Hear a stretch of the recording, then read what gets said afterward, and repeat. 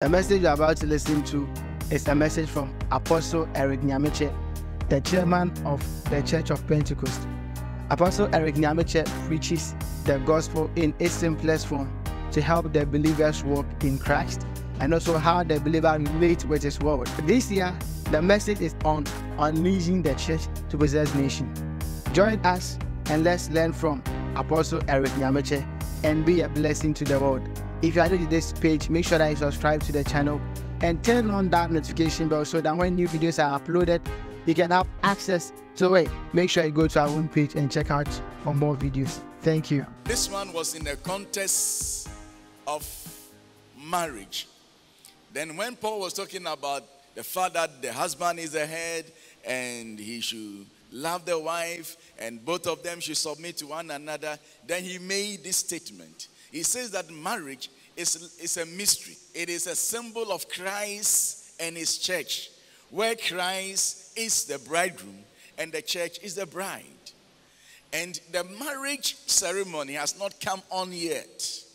So all of us are brides of the bridegroom.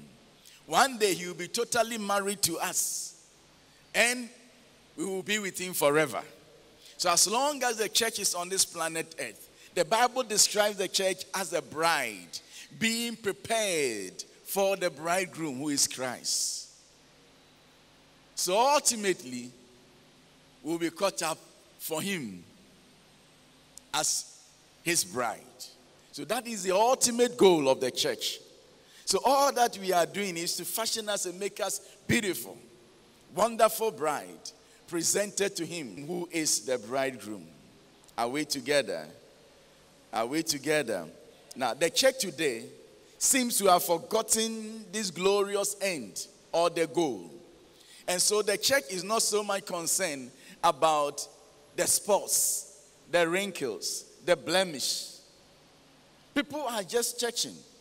There has not been any generation in our country that we have so many ministers of the gospel than this generation. You go out there and there are so many billboards.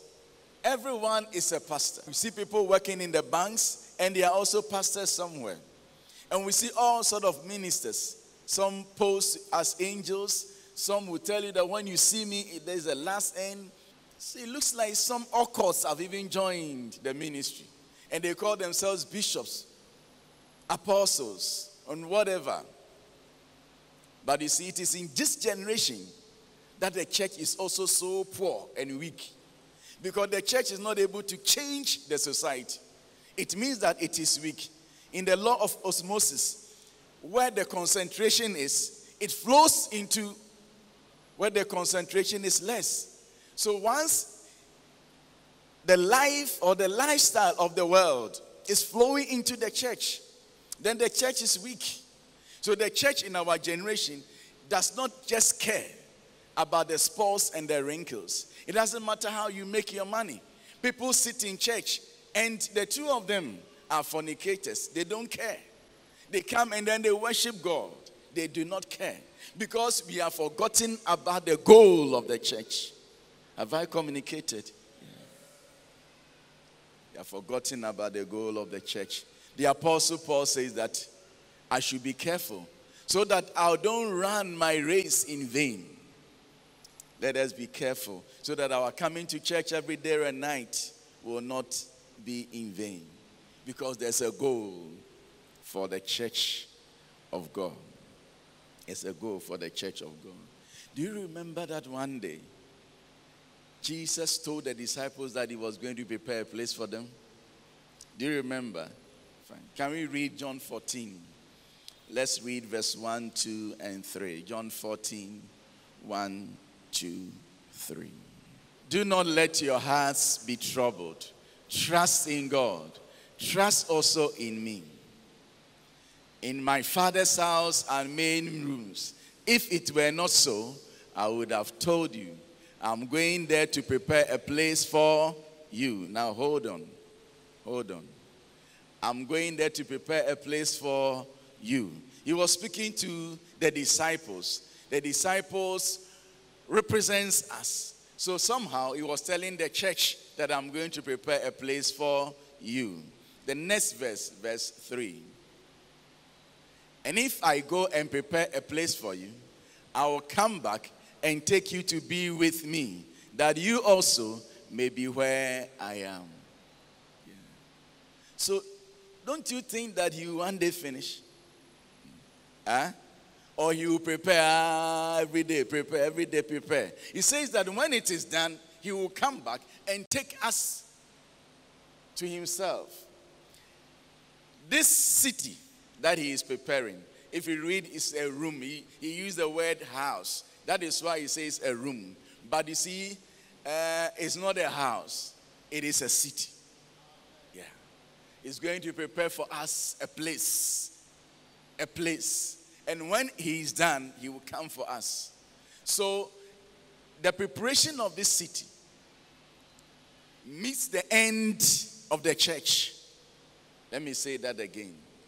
Because it is the church that is going to be cut to meet in the city. The, the city is being prepared for the church. Once the city is done, we will be out of here. So at the end of the day, we are looking forward to that city. And as we wait for that city, he is still preparing us as a bride for himself. Hallelujah. Are we here? Revelation 19, verse 6. I'll read up to verse 8.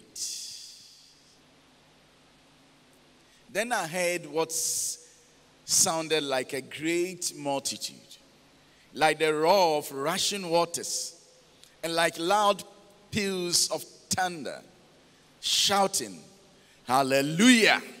For our Lord God omnipotent reigns. Let us rejoice and be glad and give him glory.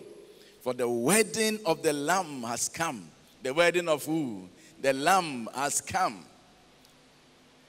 And what? And his bride has made herself ready. Has made herself ready. It gives us the impression that all the while the bride was being prepared. One day the wedding will come on It's going to happen in that city that Jesus said, I'm going to prepare. Yeah. The next verse, 8. Let's read together. Ready for fine linen, bright and clean, was given her to. Fine linen stands for what? The righteous acts of their sins. Now, see, when the bride is coming in, we all pay attention to the dress the bride is wearing. And then you hear the woman saying, Hey, it's nice, it's beautiful. Hey, this one is from is this from America? And somebody, hey, it was sold here in Ghana. So are you sure which shop? The women say we're in the intro. As for them, they don't just keep quiet or they talk. so they will be discussing because what makes the bride bride is what the bride is wearing. Otherwise, we know this lady already. She's a member of this church. But on that day, Something different is on her. That makes her the bride. Standing out amongst all of us. I don't think that on, on a wedding day, any of us will go and wear a long gown like a bride and come and stand here. You wouldn't do that because you are not the focus. If you do that, the deaconesses will throw you away. I'm telling you. They will ask you, why? Why? Do you want to compete with the bride? So you don't do that. The bride is the focus, and the bride is being prepared. And the Bible says that the garment that the bride was wearing in the revelation that John saw is what? Or was what? The righteous acts of the saints. So when you are not doing things right, or when you are not righteous, when you are not living the kind of holy life, when the church is not concerned about the spots and wrinkles, we are disqualifying our members from being part of the wedding ceremony.